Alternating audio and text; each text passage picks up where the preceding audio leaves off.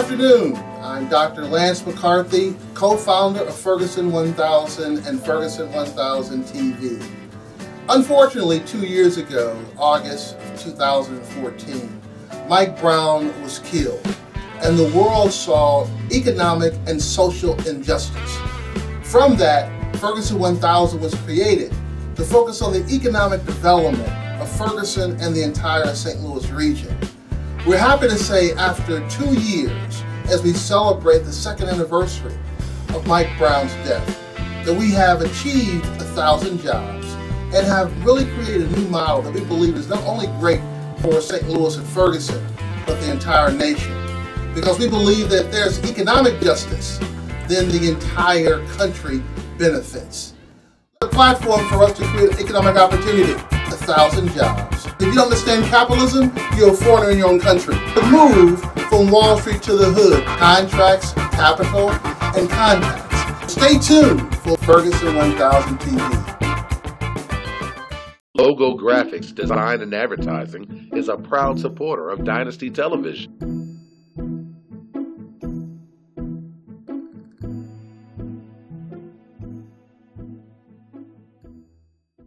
In the mid-1960s, the Great Society programs were created to assist African Americans to assimilate into our society.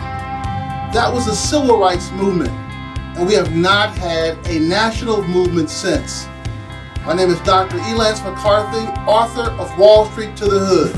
It is my objective to share with all the constituents across this country a blueprint for economic freedom, actually moving from the civil rights to the silver rights. You cannot solve economic problems with social solutions. And my book gives a blueprint, a strategy, an outline of how we can assess the opportunities in this country to create an economic development agenda.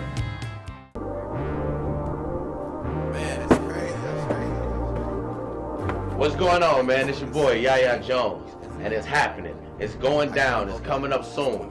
The Bridge on Dynasty Television, August 2016. Let's get it. No matter, we gon' man up.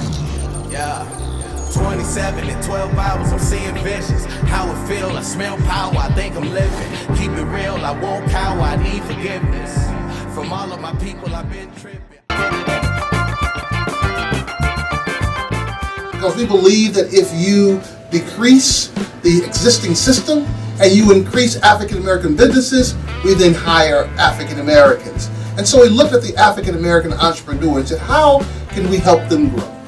What we did was partner with Uber and create Uber Pitch, i.e. Shark Tank in the backseat of the car, so we can address the capital issues and the lack of capital for African Americans. So what happened? We trained 42 black businesses on how to pitch their business. And we correlated and came together on a Friday morning in Ferguson at Drake's restaurant where people shared their pitches. From there, they download the app, the car pulled up, and they got a chance to sit in the back seat with an investor for 15 minutes and pitch their ideas. When the bank says, I'm here to help you and work with you, they mean it. They're here to work with you. Physical, flesh, human beings. Everybody in this business is the same. Whether you're on the giving end or the receiving end, it's all the same. Nothing changes. So this is your chance to pitch your project to the venture capitalists. And this is what we're going to do on Friday. You're selecting. That's what we're preparing you for. You have your undivided attention in this car for up to 15 minutes. You only got five minutes to make your impression. The first five minutes will make or break the next 10 minutes. This is where most projects die. A venture capitalist has heard every one of your projects at least 20 times. So that's why you think you're doing this, get that out of your head. VC guy already knows you're doing this. All the way up. It's a spiral. It's going to have up and down. It's going to have things that just don't make any sense to you or anybody else. A big key part of this is have you done your homework? Everybody says in here, you've done your homework, I've done all this, I've done all that. You are going to have to have an official business plan ready when the time comes. Now, they're also going to know we're on the business evolution. A lot of you already have established businesses, which is good, because that's one of the things they look at. They say, hey, have you already test markets. Have you ever done some work on this? How does it feel to you? The VC, don't ask the VC about your business. They already know about your business. What they're going to know is, what do you know about your business? Have you done your homework? And how do you feel about your business? Next business. How do you make money? Do you accept credit cards? You, are you out begging on the street for a sign? You work for free? The market analysis is going to be a big key part of your business plan. The reason for the market analysis is because, trust me, venture capitalist knows your business better than you do. I promise you, you get in that cab and they haven't heard your pitch 20 times, you're not talking to a VC. You're talking to a cab driver. You're sitting in the. That's just the way it works. VCs have seen everything that you're doing. They're looking for that extra little inch that you've got. It might just be your personality. It might just be your gusto. It might just be your, your uh, commitment to do what? You're in it to win. Win. Again, you're in it to win. One more time, not loud enough. Win. Thank you. Now here's the big one. What you gonna do about money? If I invest in company, what are you gonna do with it? How, if you're gonna be able to break it out to me, how are you gonna use my money? Now if you say, aha, go to Disneyland, wrong answer. Unless Disneyland is there be your client. Okay? Or there might be a big convention down at Disneyland you're going to. Go pick up of customers. You've already said, I'm ready to go. Just come on down, show me what you got, sign me up. Does that make sense? So when you're talking to VC, you never tell them how much you're looking for. So the number. You guys are in love with your product. I know that. You should be as, as, a, as an entrepreneur. But don't try to cram a hundred things into that one minute because they're just going to back off and go, whoa, that's way too much. Try to make those uh, cogent points of what they need to hear based on what John gave you. If they sit there and start talking about, you know, I'm just going to use you as an example. Well, we put this in the flour and that in the flour and all that. Not necessary. Just give them the point they want to hear. If they want to hear more, they'll come back after that one minute interesting, tell me more. Okay? So remember that. What is it you would want to know? If you're in an elevator with somebody and say, oh, you know what, you know what, 99% of them, hi, what do you do? Boom, that's your moment. That is your moment on the day-to-day, not Uber, but the day-to-day stuff. That's your moment. The elevator opens up, they're not going to hang around and listen to you necessarily. They're going to say, well, gotta go. So that's why you have to be ready when the time comes. Again, they say, I want to hear more, I want to hear more. The other one is, um, think, think what is it you would ask I don't think any of us, at least I haven't loaned anybody a million dollars. But I'm going to be asking some pointed questions before I release that million dollars, okay? So remember, remember that about VCs or anybody you're working with. Can you build me a bridge from here to Hawaii? Genie goes, uh, uh, it's a logistical nightmare for me to possibly do this, but it's kind of unreasonable to build a bridge from here to Hawaii. It doesn't make any sense. What would be your number two wish? You guys think it always says, I would like to know what goes on the minds of venture capitalists. You know what Jimmy said? You want that two lanes or four lanes?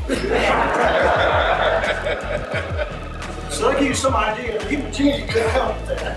You're trying to figure out what goes in the mind of a VC. That's very true. You're not going to be able to figure it out either. I haven't done this for 30 years. I haven't figured it out yet. If y'all figure it out, please know. I'd appreciate that. Let's give John Freeborn a round of applause for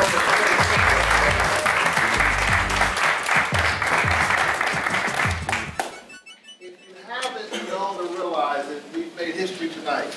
This is the first of many. Uh, and uh, we call this the Empire Room. So let me give you a little uh, information before you leave tonight. Uh, you were invited here because you knew someone that was affiliated with Ferguson 1000. It is our objective to continue to help black businesses in St. Louis get capital, contracts, and contacts. Now, we are here sharing. There was no fee to come into the room, and we want to be able to help you move forward. There's always someone who wants to cut a side deal. So let me tell you what my favorite friend Jesse Jackson said. Cut me in or cut it out. Meaning that we are here to help you move your agenda forward. We're going to be doing this all, a long time. John mentioned you are now part of the Ferguson 1000 family, which means we'll help you grow and, and move your business forward. And so you're very fortunate to be on this first round. We want to find some great businesses where we're going to continue this forward. One of the issues is there's been a lack of equity capital, as I stated earlier. for minority businesses. We're going to continue to do this. Matter of fact, I got a text this morning at 5.30 from another investor saying, how do I get involved in the next? So we work together and collectively to move this agenda forward. We are stronger collectively, not independently. We know St. Louis is a little different kind of city. It's no uh, secret, uh, depending on what stats that you read, that we're number five in the most segregated city in the country. So this allows us to be able to collectively come together and show the mass amount of people in St. Louis who have some great black businesses that only helps the region.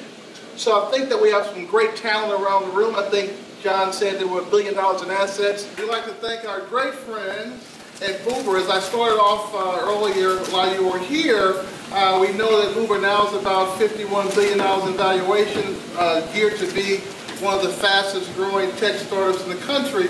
And so we are very fortunate to partner not only with Uber, but other organizations like them. Because we want to find that next great idea, and I believe it's around here. I have a friend who runs a $2 billion fund, and he says, I answer the call now to everyone to come up with the next ideas. So I've heard a lot of great tech ideas, business ideas, manufacturing, etc. And so we're very excited. We're very excited to update you on our next event. And we can prove that it's a hiring event because Latasha just got her nurse's assistant job at Personal Care. Bank on Save Up is a proud supporter of Dynasty Television.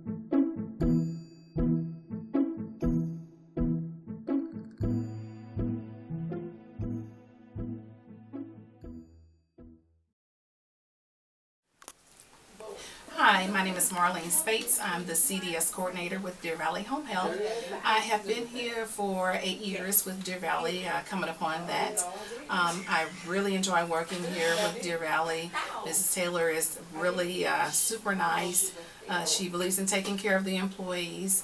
Uh, as far as the CDS program, I welcome all new consumers, uh, whether you're new to the area or just new to the program. There's a lot in store for you here at Deer Valley Home Health, so come on over here to Deer Valley where you'll be welcome. Theo Teddy Lewis from the Highlight Show on Dynasty Television, here with my network mate, Elle. Shopping with Elle, that is. Yes, hello everyone. I'm Elle with the Shop with Elle show. And I'm so glad to talk to do care? Yes, you can. Yes. Because everybody shops. Think about it. Whether it's food, bread, clothes, watches, hair products, everybody shops. So say this to do it. I should say first how to do it, what to look for. I'm gonna do the stuff that I like to done. I shop from private shops, trainers, diamonds,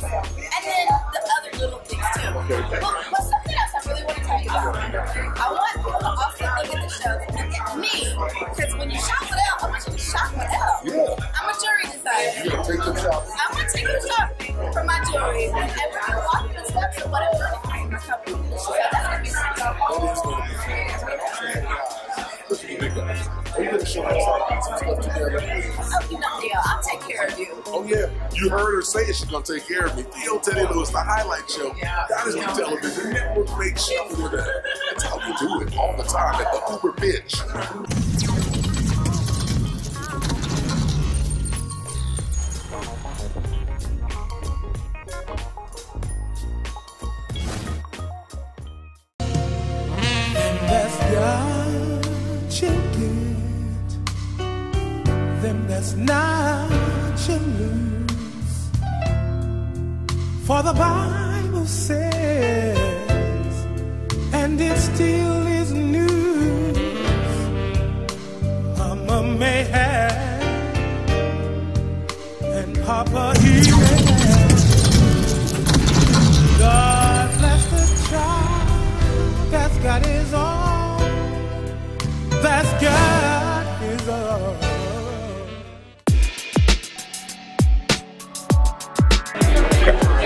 Hello, everyone. My name is Cedric Cobb, and I'm the president and CEO of the Best Pocket Square Holder, which is an awesome device that holds your pocket square in place without it moving around.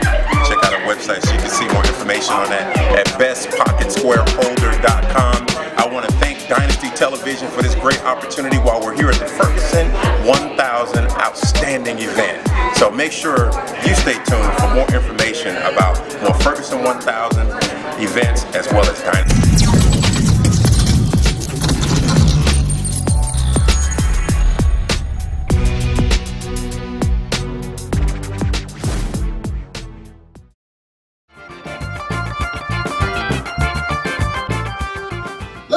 Back to what happened over the last two years and share with you some of our successes. First of all, we disrupted the traditional job fair and moved that to a hiring event. People actually get hired. They pre-register, they get trained, they understand what the companies are, and on the day of the event, they get hired. It is no better feeling than seeing someone who is looking to better provide for their family and be able to get a job on the spot. We're very excited to update you on our next event, uh, the hiring event weekend, April 15th and 16th. So I'll go through the agenda. So our lineup for Ferguson 1000, the objective for Friday night is to almost do a report card, let people success we've had, and also integrate other partners in the local market to show and share how we can do economic development both on job creation and entrepreneurship. So here is the lineup. Very excited to share with you all. Representative from the St. Louis Mayor's Office, and representative from the St. Louis County Executive Office. We'll start off this first section on the economic outlook and poverty outlook and job outlook for St. Louis. So I just confirmed this morning the National Policy Director for the Federal Reserve. She's going to talk about zip codes, poverty analysis, and some of the things here. So I'll start off. Then we'll go into our new partners and friends, uh, the St. Louis Chamber of Commerce. Uh, Angie and I and Rick went to meet with their leadership last week to talk about partnership. So they're going to talk about the economic development opportunities in the St. Louis region. Then we'll go to uh, a segment on crime and jobs because we know that attracting companies here and sustaining them has a direct correlation between public safety and jobs. So that opens it up, that gets us to uh, understand the economic outlook. Now we go into solutions. And solutions are six of our black tech firms that we partner with. And so we present to the community these six companies that we believe are segmented in each sector of the tech space. Is transportation, in fashion tech, biotech, which is food, space tech, construction technology, and then lastly we produce or promote young technology. So that's the second phase of Black Tech, and each person will have to three minutes. Then we end with the keynotes. First will be Eagle Bank. They'll be talking about how they're going to do workshops with Ferguson 1000 to get more business customers to their platform on the finance side. We'll then go into Uber. We'll talk about, of course, business generation and to the community and having alternative work hours in order to be able to move the agenda forward. We believe we have a jam-packed strategy. We're going to hopefully live stream uh, this so that we'll get out to the national market. So therefore, this can be duplicated in other markets. We have our great friend from Slate, Miss Stacy Fowler, who's joining us. Well, we would love for you to share. Slate is our great partner.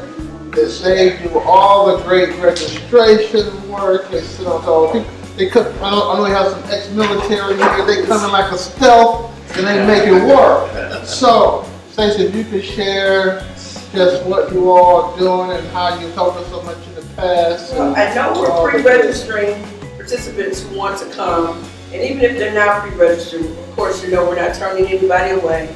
They can register. We'll get them once they get there, but basically we're getting them through the process so that we actually will know who has participated, who's there, how many did come, how many are following through, and then as they're working through the job fair, if they get employment, we're trying to make sure we document that so we know who's getting hired, who's hiring whom, to what jobs and opportunities, um, and whatever else you guys are asking us to do. Any questions for our great friends at Slate? Um, yes, sir. So I was talking to Sylvia earlier today, and we were thinking through like the information that we're putting out to people and how to get people interested in coming. Uh, and one of the things we discussed was like looking at statistics from like previous events. I don't know if Slate was involved with that, Yeah. but understanding like where people got hired, like what. Because I think there's a concern that like since this is open to a, a great number of people, different. Like I might be going in as a fresh out of college. I might be coming in as a I, only have experience. I don't really have a degree or I might be a job switch. Like so, I can be better inform people like what they should expect when they come. So once we put the companies out there, people, whatever area they're in, they can, can see what opportunities are available. Is it any? Uh, that's that was one of my questions. So like if I if it's Ameren, there's so many different jobs at Amway. Are they going to become recruiting for everything? that's No, available, no, or is it no. just- No, um, the only did last time, we didn't ask specifically what jobs are, but on her form now, they'll be sending us what some of those jobs are for. But Again, they're entry level, they're mid-tier, and even high level. So we have so many great partners, they're established, they're looking at our innovative solutions, and so we're excited. I'd like to invite all of you to the Ferguson 1000 Hiring Event Weekend.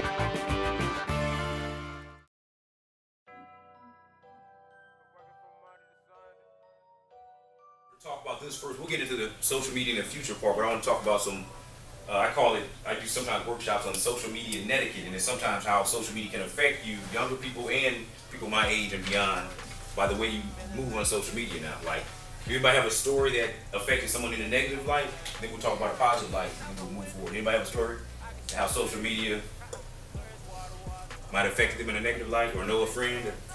Um, so one time, uh, these two girls were Snapchatting. Okay. And then um, one of the girls' breasts were kind of showing, and one girl screenshotted, and she kept showing it to everyone. So it went viral. Yeah, and so then um, both girls got in trouble, even though the one girl that like picture kept getting shown, she didn't purposely mean to. Right. But she still got. in I even do case studies on if if someone uh say say they get a new say they get a scholarship, full scholarship, they 3.5 GPA, they're getting a scholarship to Vanderbilt.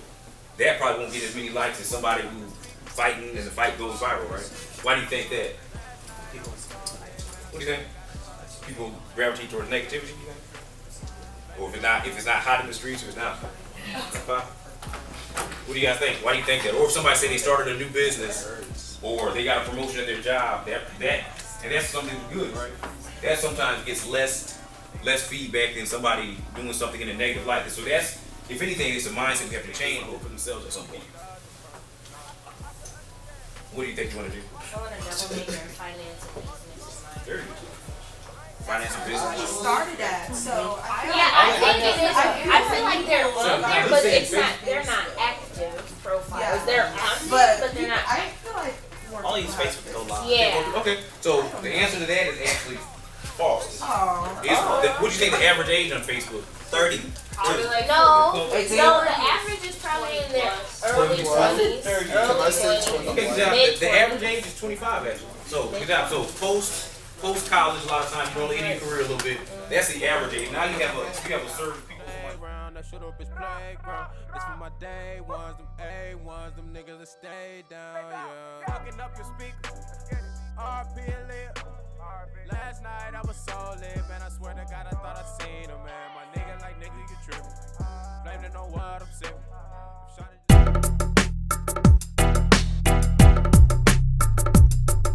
It's Theo Teddy Lewis with another installment of the Highlight Show on Dynasty Television. This time with Mr. Jeff and Pamela Blair with I See Me. Cool stories you can see. Thank you. A lot of products Yes. for kids to see themselves, books, toys, and everything more. Yes. Tell us more about your story. Well, it's a labor of love um, between us. Uh, you know, we, we started out with this uh, process of raising our own children. Nice. And going out there trying to find products that really celebrate them and, and their blackness. Right. Very hard to find.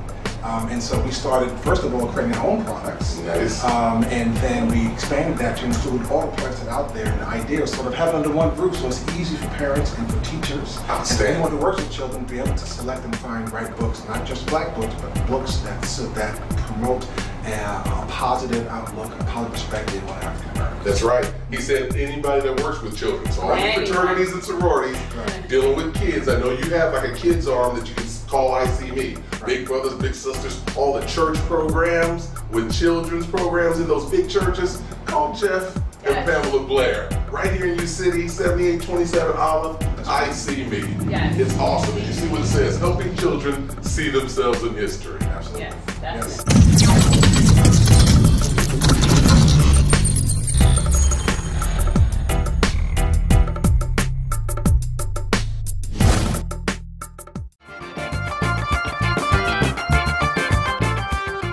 I'd like to invite all of you to the Ferguson 1000 Hiring Event Weekend. Here we go. Here we go.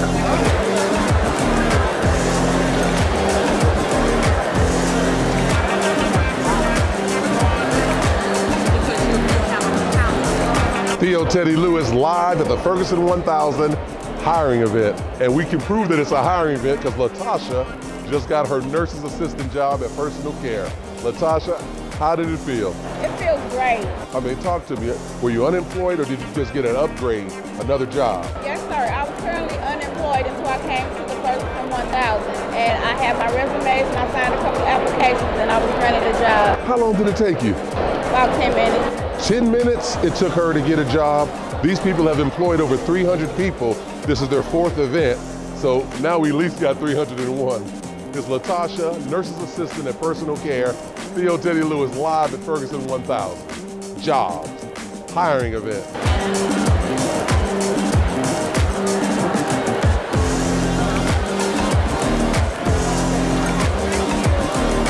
Mr. Mike Moss, Eagle Bank, Shivis Johnson from UNK Flooring. They work well together. They both feel it's important to be here at Ferguson 1000 Jobs as, as do we. And I'm going to let you tell them all about the connection and why you're here. Obviously, Dr. Lance put us together. Yes. Uh, and talked about opportunities and need in the, uh, the community around St. Louis, primarily in North St. Louis, North County. Um, so we're really glad to have created the association with Dr. Lance and his support team, the that offering here at Aristotle, and the opportunities to bring knowledge and experience to young business owners that really are trying to make a difference in our community. Fantastic. That's all good reasons to do it. And then you on the receiving end and also being able to giving end yes, sir. with jobs yourself. Yes, sir. Well, I won't get uh, to speak. Yes, sir. Understandable. Eagle Bank and UNK Flooring.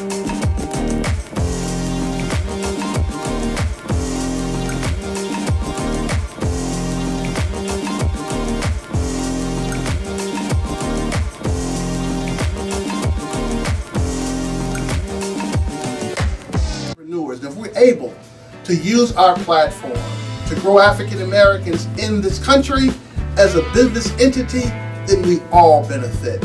And from that perspective, we can say that Mike Brown dying wasn't in vain. And he told his parents that one day I'm going to be known nationwide. Well, Mike's vision and dream has come to the creation of Ferguson 1000 as we give individuals jobs and opportunities and create companies as a national economic development agenda. I look forward to seeing you here at Ferguson 1000 TV.